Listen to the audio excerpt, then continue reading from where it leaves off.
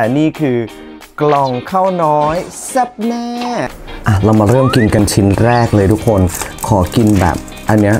จริงๆอะเราอะสามารถแยกหมูเนื้อออกได้นะ แต่ว่าอันเนี้ยพอเขาทอดมาแล้วสีมันก็จะใกล้เคียงกัน เดี๋ยวเดี๋ยวขอดูก่อนอันนี้น่าจะเนื้อนะครับ สีจะเข้มหน่อยนะครับ ขอกินแบบยังไม่ต้องจิ้มอันนี้เนาะ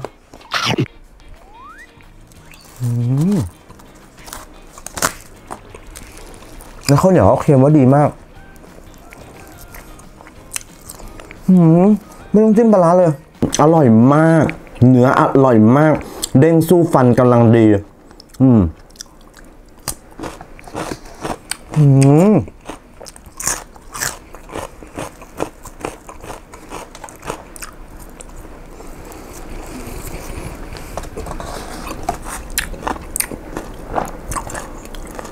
อืมอืมอืม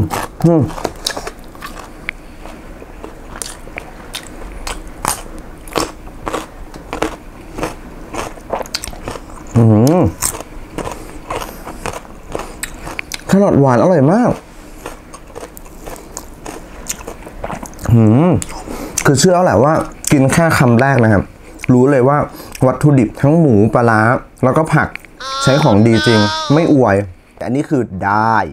ได้บอกเลยว่าได้เฮ้ยใครไม่ชอบเราชอบแบบที่มีย่างแบบเกรียมๆนิดนึงอันนี้หมูฝั่งนี้หมูฝั่งนี้เนื้อทุกคน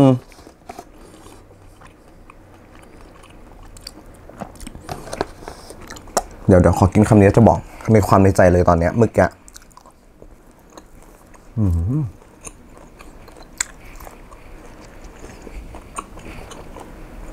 ม อืมทั้งแครอท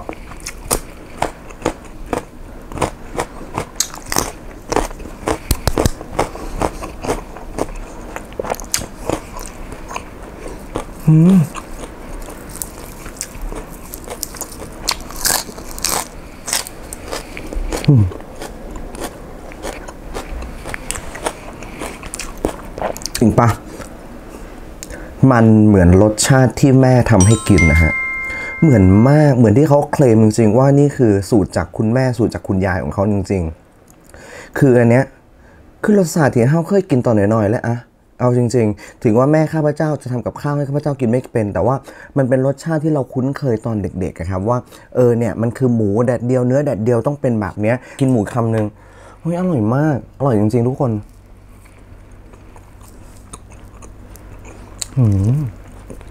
หมูเขาก็จะนุ่มกว่าเนื้อหน่อยเนาะ แล้วความเป็นหมูน่ะ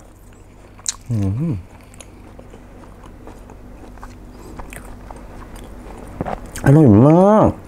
อืมเฮียอืมน้ำจิ้มแจ่วครับทุกคน เปิดมาคือกลิ่นได้มาก กลิ่นได้มาก เอาอะไรดี เอาเป็นเนื้อละ เอาเป็นหมูแล้วกัน หมูจิ้มแจ่ว เป็นหมูหมูย่างจิ้มแจ่ว นี่ อืม อะ อืม รสชาติแบบ ถึง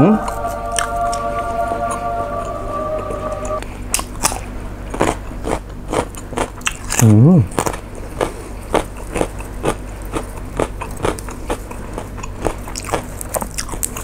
เค็ม เผ็ด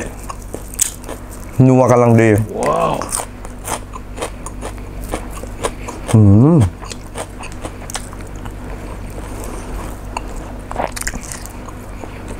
อืมอืมของเรานี่นะฮะจะหลุดไหมนะ อะ สลับที่กันนิดนึง อันนี้เป็นความข้นอยู่ หืมอร่อยมาก กลับมากันที่เนื้อครับ เนื้อเนี่ยเดี๋ยวเขาบอกว่าเขาจะมีบอกวิธีการเวฟวิธีการอุ่นอยู่นะ ถ้าเกิดว่าใครอยากได้แบบอุ่นๆแต่ว่าเรารู้สึกว่ากินแบบเนี้ยอร่อยแล้วนะครับ ให้มันแบบมีความคลายความร้อนมันออกแล้วอย่างเงี้ย อืม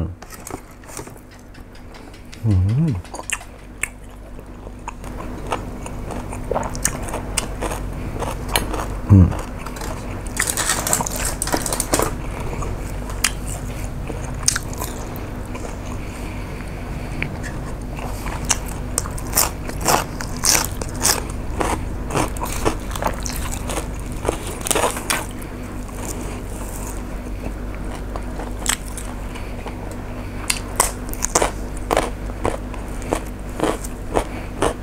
เอา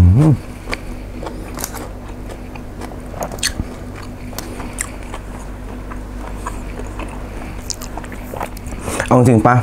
คือเนื้อเขาอะ มันก็จะมีความเหนียวของหมูแหละ แต่มันก็ไม่ได้เหนียวแบบถึงขนาดกินไม่ได้ แต่มันก็เป็นความเหนียวแบบที่เป็นเนื้อนะครับ เนื้อมันก็ต้องสู้ฟันนิดนึงอะ มันถึงจะมีความแบบ อร่อยแล้วก็ได้รสชาติของเนื้อเวลาที่เราเคี้ยวออกมาเนาะไม่งั้นมันก็จะแบบไม่ได้อรรถรสของการกินเนื้อซะทีเดียวเลยนะ อันนี้ขอกินแบบติดมันทุกคนอืมน่ากินมากติดมันอะไม่จิ้มอะไรทั้งสิ้น เพราะว่า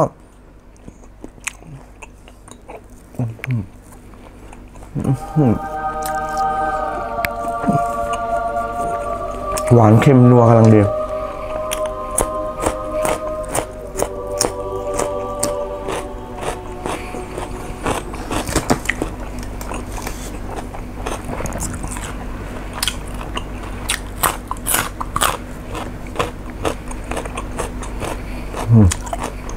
รักนะ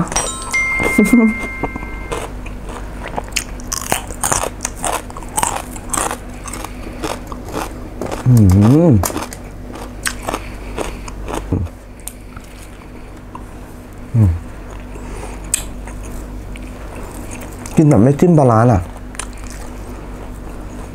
มันได้ความหอมของเนื้อมากอุ้ ยตาย ไม่น้อยนะฮะ ทีแรกนึกว่ามันน้อย มันถูกซ่อนอยู่ข้างล่างเนี่ยเยอะมาก ทุกคนนะนี่ครับทุกคนอือหือ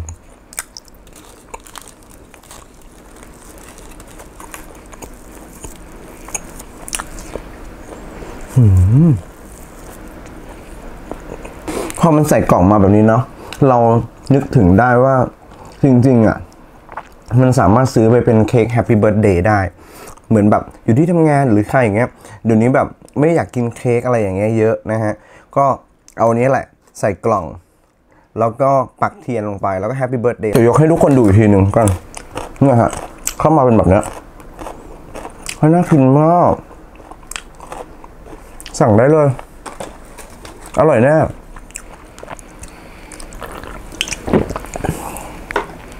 แน่นอนว่ามันก็ต้องมีอาการแค้นบ้าง แค้นคือการการติดคอบ้าง เพราะว่ามันไม่มีของที่มันเป็นน้ำเลยครับนะเป็นของแห้งมีข้าวเหนียว นี่มีกระติบข้าวเหนียวเด้นะฮะแล้วก็กินกับหมู อืมเวลาปั้นข้าวเหนียวเนี่ยเราก็จะปั้นแบบปั้นจุ๊บปั้นจิ๊บนะเราจะไม่ได้ปั้นข้าวเหนียวใหญ่ มันถูกฝึกมาอย่างเงี้ยแต่เด็กๆอะมันจะมากินแบบคำใหญ่ๆเหมือนคนอื่นอย่างเงี้ยก็กินไม่ได้ อืม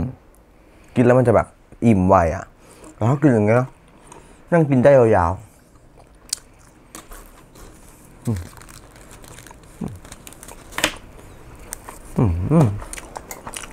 เหมือนกินตอนเด็กๆจริงๆด้วย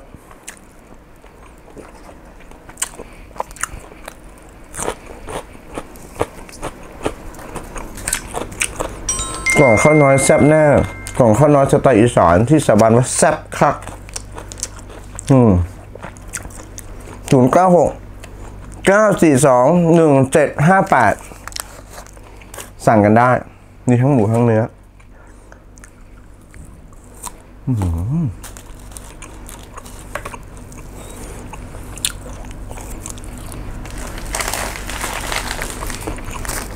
ข้าวเหนียวที่เขาให้มาจะเป็นให้แบบเนี้ยถ้าเป็นแบบเนี้ย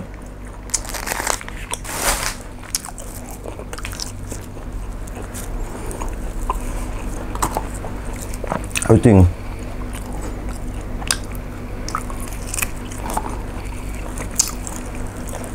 เซตนี้ต้องกินกันแบบห้าหกคนเลยปะถึงจะหมดอะ เยอะมาก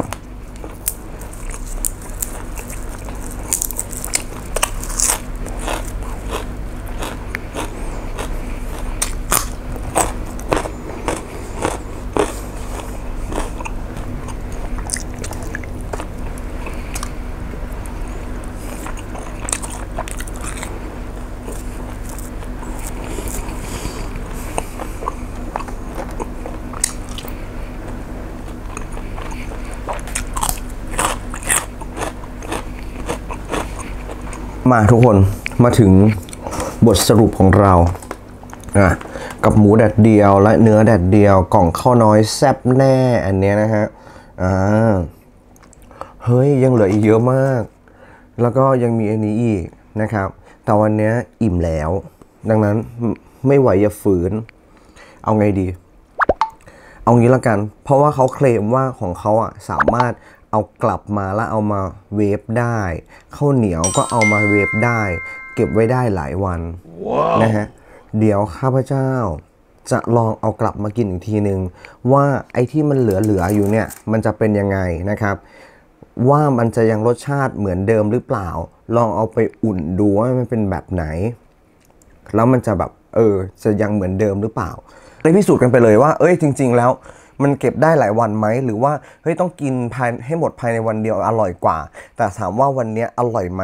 อร่อย อร่อย อร่อย อร่อยเหมือนแม่ทำให้กินตอนเด็กๆ อร่อยเหมือนที่เราแบบเคยกินเป็นรสชาติที่คุ้นเคยฮะถ้าถ้าคนอีสานนะฮะ คนเนี่ย อันนี้เป็นสูตรของของคนกาลสิน ถ้าเกิดคนอีสานเนี่ยข่อยการันตีเลยว่า อันเนี้ยคือรสชาติที่แบบพ่อแม่เจ้าเฮ็ดให้กินตั้งแต่น้อยๆครับเออ ลองเบิงนะฮะ อันเนี้ยถุงน้อยๆกะมี่ถุงใหญ่กะมี่หรือสิแบบพร้อมกินเลยก็ได้นะครับ ไปดูในเพจนะครับ กล่องข้าวน้อย แซ่บแน่ เดี๋ยวจะปักไว้ให้นะครับ ก็ยังไงขอบคุณทุกคนมากวันนี้กินแซ่บกินนัวไปน้ำกันแล้วเธอกินแค่ข้าวอันข้าวเหนียวกับเนื้อทอด อันหมูทอดเนี่ยอันถ้าเกิดคนอีสานเนาะเคยสิเอิญหมูหมูหมูทอดเนื้อทอดดอก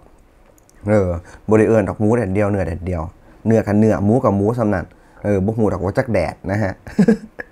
เหนื่อยแห้งก็เนเหนื่อยแห้งเลยซ้ำไปเนาะพี่น้องเนาะอะสำหรับพี่น้องกินแสบกินนัวไปน้ำกันครับ กินกับกี้อร่อยทุกอย่าง เพราะไม่อร่อยเราไม่กินอะอะอะอะอย่าลืมกดไลค์กดแชร์กด subscribe ให้ด้วยนะครับ จะได้เป็นกำลังใจแล้วก็ขอบคุณทุกๆ คนที่ตามมาจากสื่ออื่นๆนะครับ TikTok เอ่ย Instagram เอ่ยนะครับ ขอบคุณทุกคนจริงๆครับ ลาเพียงเท่านี้ สวัสดีครับ